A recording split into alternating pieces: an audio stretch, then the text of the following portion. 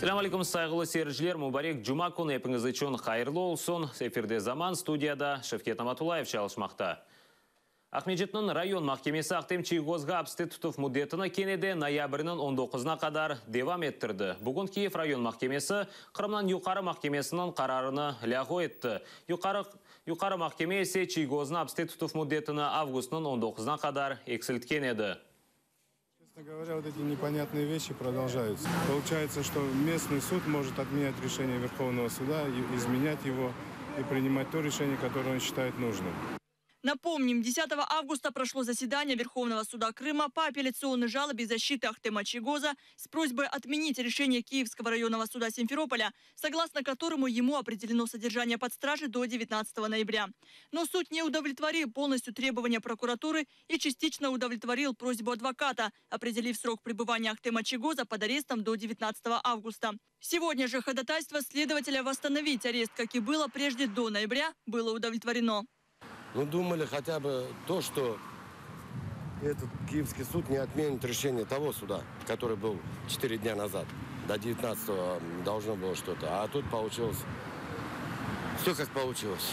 По словам Эльми Умерова, действия Киевского районного суда мотивированы тем, что Ахтем Чигос сможет сбежать из страны, если его освободят из-под стражи 19 августа, в то время как будут проводиться следственные мероприятия, которые еще не окончены.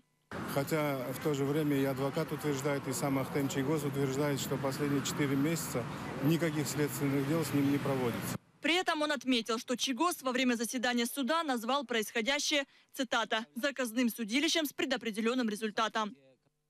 Ни у кого не вызывает сомнений характер данных обвинений беспочвенных, и что все это носит политический заказ. Ссылаться на тяжесть статьи с таким же успехом меня можно было обвинить по более или любого другого человека на усмотрение следователя обвинить по более тяжелым статьям и потом в изоляции. Также, по словам Умерова, Чиго заявил, что виноватым себя ни по каким из озвучиваемых преступлений не считает. Ахтем Чигос находится под стражей около 7 месяцев. Он обвиняется по статье «Организация массовых беспорядков», которая предусматривает лишение свободы на срок до 10 лет. Именем Мамедова, Альберт Жуковский, Заман АТР. Алушта региональ меджлис рейсі Энвер Арпатлыны Алушта мемориетінің рейс Муамина вазифесінен бошаттылар. Бұл ақта бір sıra қырым адбуат васталары білдірді. Шернің Рус мемориетінде о бір ел ве екі ай чалышты о коммуналь хожалығы бойынша муавин еді. Апрельде есе оны вақтынжы вазифеден четлештірділер. Бүгін есе асылында іштен бошатылғаны белі олды. Шымды Энвер Арпатлы іштимай яғларда Қырымнан Рус етіп башлады. Ось Facebook сайфесінде Арпатлы Рус баш назир Муавина Руслан Госкомнас елбашы Заур Смирновны истифаға кеткенлеріні талап ете. Русия мұхалифетшісі Қырым işғалына рет етмек үшін махкемеге шикает берді. Майдан без границ жемат әрекетінің тешкілятшысы Валерий Отставник Русияның анайса махкемесіне Қырымны Русияге қошылған қануны рет етілмесіні талап етті. Отставниктен ғайры айна аризаларны махкемеге да екі мұхалифетші берді. Вот для того, чтобы показать, что король голый, мы и подали э, этот самый э, иск в Конституционный суд, чтобы привлечь внимание э, юридического сообщества, украинского, э, российского, международного, к юридическим аспектам э, вот этого незаконного присоединения. Для того, чтобы дать возможность ю- э, юристам, а, дать возможность журналистам, дать возможность властям Украины прокомментировать наш иск. Қыр мұсылманлары хажға кетмезден әвел ашламай апмақ кереклер. Бұл вақта қыр мұсылманлар діни идаресі білдіре. Ашламан Ақмеджеттің екінші поликлиникасында яптырмақ мүмкін. Инсанларын августның 17-сінден башлап, бір хafta девамында қабыл етежеклер. Ашламаны Сауди Арабистанға кетмезден әвел 10 күн алдында япмақ керектір. Ишғал олынған Донбасқа Русияның 35-ші гум конвойы кірді. Сабақтан Украина Русия сыңырыны Русияның февқұледі назірлігінің юк машиналары кечті. Бұақта назірлік өз интернет сайфесінде білдірді. Олардың малыматына көре колоннада 100 юк машинасы бұтақменен 1000 тонна мақсулаттыр. Русияның гум конвойлары Украина сыңырыны қанунсыз кечелер. Украина президентінің атом меселелері бойынша темсілжісі Андрей Лысенко білдіргенне көре, Донбаста келген ашайттан инсанлар зерлені башладылар. Бұндан берабер Путиннің конвойы келген вақытта Донбаста вазиет да зияде кергінлеше.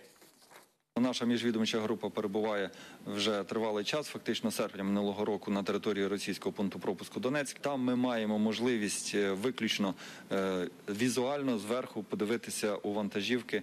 І е, такий огляд, звичайно, не є повноцінним оглядом і не дозволяє нам 100% стверджувати про той чи інший вміст гуманітарних конвоїв. Те, що вдалося побачити зверху візуально, це продукти харчування. Е, е, 83 автомобілі, нібито медикаменти та медобладнання, один автомобіль і два автомобілі з товарами народного споживання. Украинада яқалынған Русия арбисі Владимир Старков Путинге оны рет етмесін деп мұражат етті. Пейда олған видеода Старков білдіре ки о Русия офицері ве 19 ел ордуда қызмет ете. Украина сыңыр бекчілері та июльнің 25-інде селянин толы камазны тұттылар. Салонда да екі кіші бар еді, олардан бірі. Есе Русия арбисі еді, екіншісі есе Дженкавер. Я не боевой офицер, там, я чисто бумажный такой тыловой офицер. Я не террорист, я не шел сюда кого-то убивать. Поэтому прошу все-таки признать, что я действительно военный. И помочь отсюда в Россию пере- перевестись.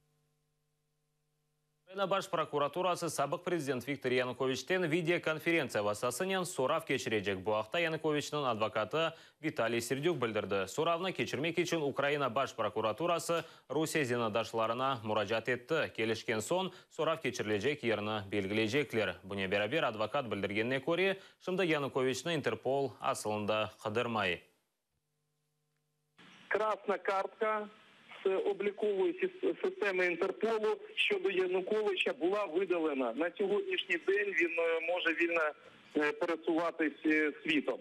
Щодо, е, щодо матеріалів е, розшуку по справі Межгір'я та е, е, та інших справах е, у захисту немає інформації. Та як ви можете впевнитись особисто з сайту з інформаційного сайту Інтерполу, Янукович у розшуку по цим справам не перебуває.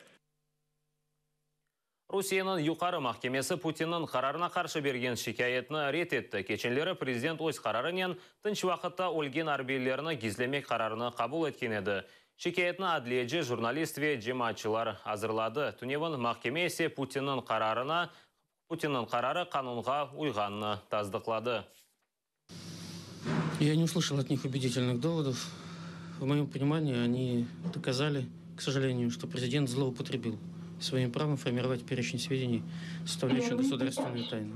попытка засекретить сведения о потерях э, личного состава вооруженных сил – это лишь яркий, но не единственный пример того, где президент Российской Федерации выходит за рамки закона о государственной тайне, пытаясь засекретить те или иные объемы социально значимых сведений. Русияде санкцияға түшкен шефталерден самогон япалар. Смоленск вилаятының сакинлері чөплікке йоқ етілген шефталеріні топлап, евде ечкілік қайнаталар айтқанларына көре, мейвалар о қадар татлы ке шекер біле керек ме? Чөплік қарауылы білдіргенне көре, инсанлар чөплікке базарға қатнағаны кебі қатнайлар. Венев бетеке ашайтының йоқ етілуіні беклейлер. Я сказала, ну, прокурорщик, отдайте дом престарелых, детям-инвалидам, м, бездетным, ну, вот есть. Не положено. Люди все хапали туда, везли. Там были и хорошие, они в ящиках ученых прямо доили. по Кереште тахменен 4,5 тонна нектарин yok еттілер. Рос сельхознадзор білдіргенне көре нектаринны Кереч портында тұттылар. Оны Латвиядан Русияге алып кете екенлер. Назарет органның малюматына көре кетірілген мейваға кереклі весиқалары yok екен. Олған ел весиқалары есе дигер ашайтқа берілген. Шефталіні Керечнің чөплік мейданларының бірінде yok етіп комдылер. Кеченлері есе Европадан кетірілген тонна себзені базарда. Умумен Русияде есе бір қач күн деваманда 500 тоннадан зияде ашайтыны yok еттілер. Ақиярда қарпыз сатыжылары район yolбашысына ұжым еттілер. Полиция қадемлері тешкіров кешірген вақытта қанунсыз сатылған қарпыз ноқтасыны таптылар. Полиция қадемлері қарпызларыны алажақ вақытта сатыжылар полиция қадемлерінің урбасына япыштылар. Сатыжыларының бірі есе Нахимовск район мемориет yolбашысына ұжым етті. О вақытта телефон вастасынен видео чықарайды.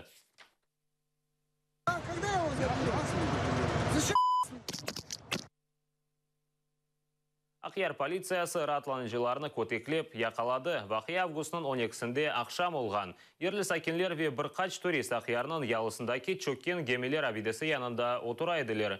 Инсанларының сайысы чоқлашқан сон Русия полициясы оларны тарқатмаға тырышты ве екі кішіге қаршы күш қоланды. Бір қадынның есе пармағыны сындырдылар.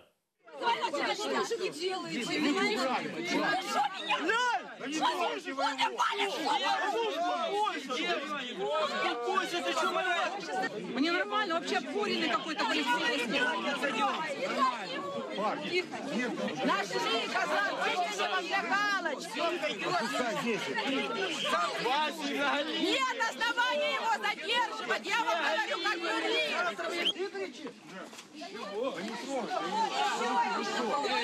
Вы что делаете? Ломаем, ломаем! Вы что делаете? Мужики, делаете? Да что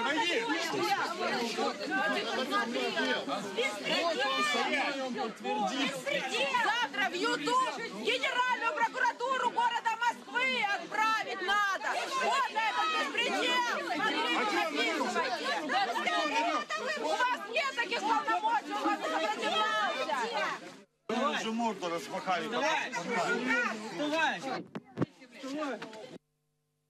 Полтавада галушқаларға биде, Канадада варенике, Зильсбургте хот-дока, Ижевсте пельменге, Қырымда есе чебурекке абиде тікледілер. Қарасу базарда кефе йолы жыварында Қырымтатар милли емек абидесі пейда олды. Оны ерлеш адамы ве меценат Рисуль Велиляев тікледі. Абиде аққында тәпсілетлі жа бізім левқамыздан огрене білесіңіз.